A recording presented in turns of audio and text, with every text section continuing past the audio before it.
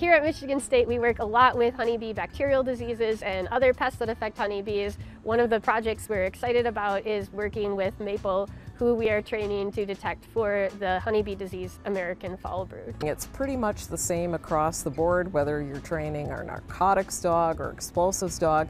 You take the target odor, you present it to them, and through a series of systematic and repetitive training, the dog starts to learn to correlate the target odor with something good is going to happen. The bee suit is still a work in progress. We're getting there, and, and she's comfortable and working in it. You know, fortunately for Maple, her drive exceeds her why am I wearing this suit?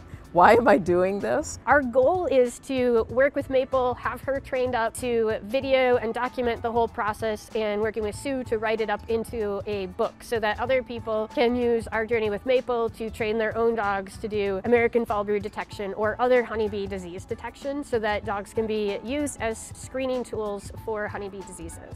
It's a cool project, but I was over the moon excited because my dog would still have joy in her life and would still be able to, to work